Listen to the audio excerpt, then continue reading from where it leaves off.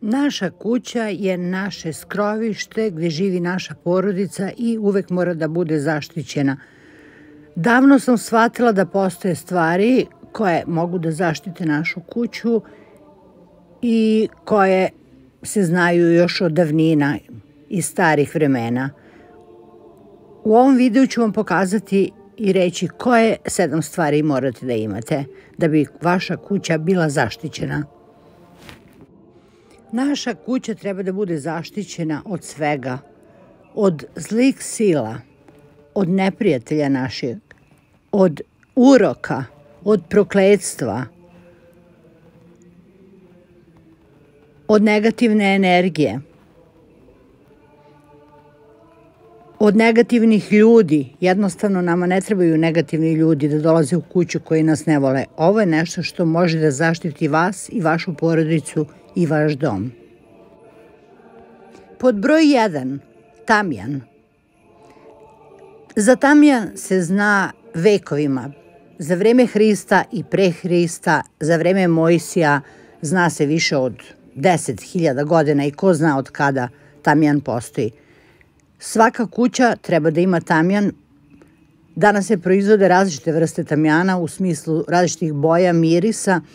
Postoji crni tamjan koji se može da kupi u nekim crkvama i manastirima koji služi za čišćenje kuće od zlih duhova i zlih sila i od svake nečistote koja može da uđe u naš dom.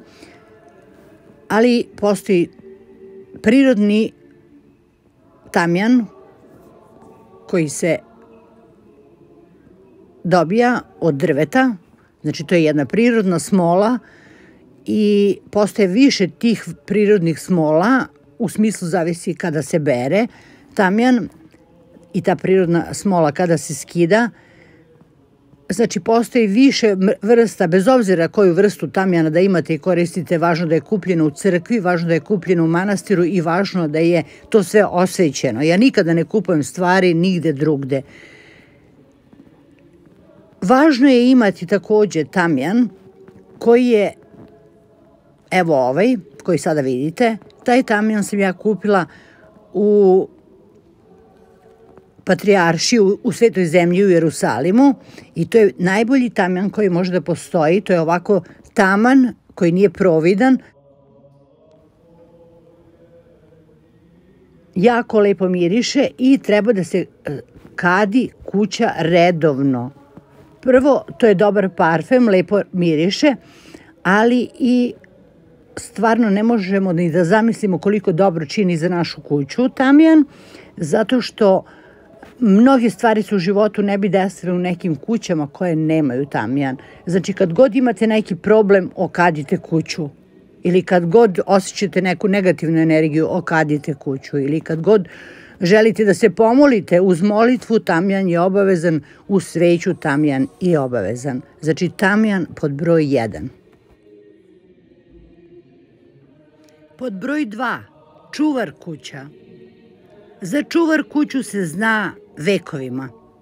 To ne znam, ko ne zna za čuvar kuću, zato se zove čuvar kuća jer čuva kuću.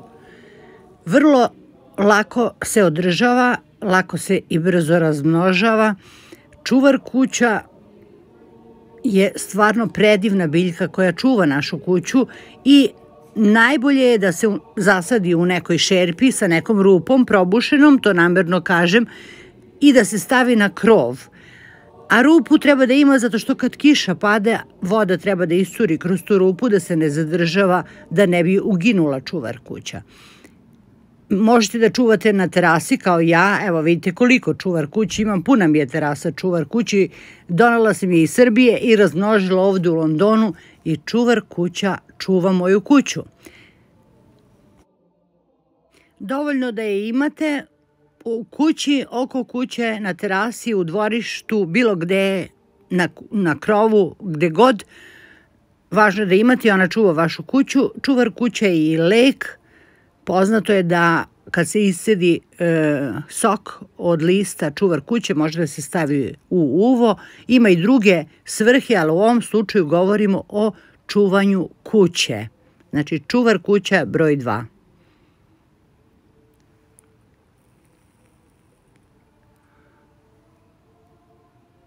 Broj 3. Svaka kuća treba da ima crkvene sveće ili sveće iz manastira. Ove sveće koje što vidite sada, to su i svete zemlje, 33 sveće koliko je imao Isus godina i one su zapaljene, vidite na vrhu, na večitoj vatri koja gori u svetoj zemlji u, na grobu Isusa Hrista i tako sam ih donala. One se pale, kojih ima redovno i kada želi neko da se pomoli, sveće se upale. Međutim, možda imate vrlo bilo koje sveće iz crkve i da zapalite sami, da se pomolite, da vam sveće izgori. Ako imate e, sveću od slave, e, takođe povremeno upalite ono što vam je ostalo, da se pomolite i neka pogori malo u kući, u dnevnoj sobi, u bilo kojoj sobi. Znači, crkvene sveće je vrlo važno da ima svaka kuća. Uvek naglašavam iz crkve ili manastira jer su na taj način one osveštane. Broj četiri. Sveta ulja. Smatram svaku kuću da ima najveće bogatstvo koje postoji ako ima sveto ulje iz bilo koje crkve da želi da ima. Recimo ovo je i Svete Petke sa Kalemegdana. Može da ima iz bilo kog manastira sa, evo, ovo je Svete Katarine koje vidite iz, sa Sinaja. Takođe, postoje mira koje su isto odlične da se kupe onako za svakodnevnu upotrebu da se čovjek pomaže na čelu ili gde god ga nešto boli, ali ovako sveta ulja mogu i da se popiju, može da se neko ako je bolestan, premaže mesto koje mu je bolesno. Sveta ulja su stvarno nešto posebno i gde god idem ja ih uvek donesem. Evo vidite koliko imam i sa Ostroga i iz drugih manastira.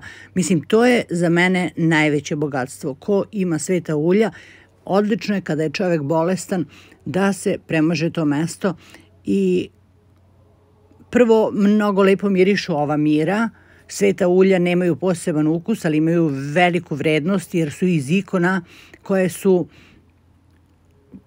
iz kandila iznad svete ikone, tako da svaka kuća treba da ima ulja. Gde god da idete, trudite se da donesete ulje, jer ništa od toga nije važnije nego da imate sveta ulja od svetaca koje vi volite i poštujete. Na kraju svi sveci su sveti ljudi Evo, ovo iz svete zemlje, Holy Land, sveto ulje. Ovo je nektarija sa. Ja veliku vrednost dajem svetim uljima i volim i decu da pomažem, unučiće sebe skoro svakog dana. Broj pet. Šta drugo reći o ovoj večnoj biljci koja nikada ne umire? Mislim da svaka kuća treba da ima jerihonsku ružu, i ovde imate dve vrste rikonske ruže, imate videa kod mene na kanalu i o jednoj i o drugoj. Jedna je iz sa Sinaja i iz Egipta i svete zemlje, samo u tim krajevima može se nađe, možete da pogledate video o tome. Ova druga je iz Amerike ili gde god raste, uglavnom obe su jerikonske ruže, međutim jedna je iz svete zemlje i to su biljke koje mogu da budu osušene ovako po 50 godina i da ožive. Jerihonske ruže su mnogo važne i o tome pogledajte video na mom kanalu da shvatite šta je jerihonska ruža, da naučite i možete da čuva vaš dom od svega čak i od raznih bolesti ali naravno od zlih sila, od neprijatelja, od negativne energije i za ispunjenje želja, ako želite da imate novac, da se oženite, udate i tako dalje, to je mnogo važno.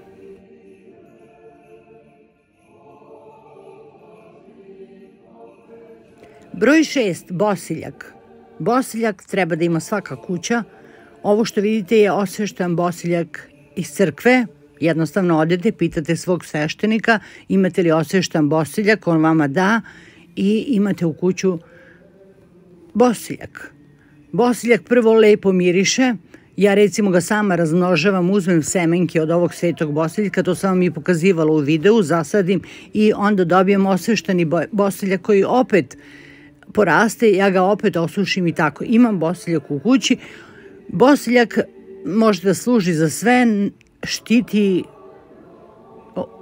krug oko bosiljka, štiti energiju e, kuće od negativnih energija. Bosiljak je nešto što štiti vašu kuću 100% od svega i treba da ima svaka kuća.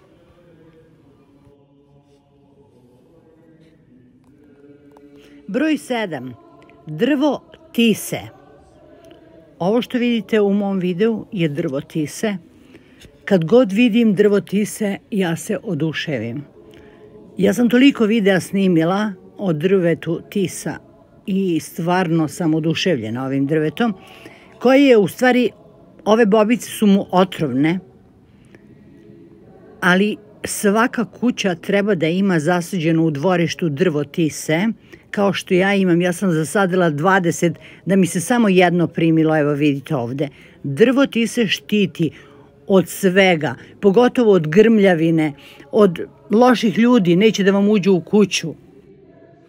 Koliko je to čisto drvo, vi znate da se krstići od, u crkvi prave od drveta tise i piše Tisov krstić. To možete da vidite.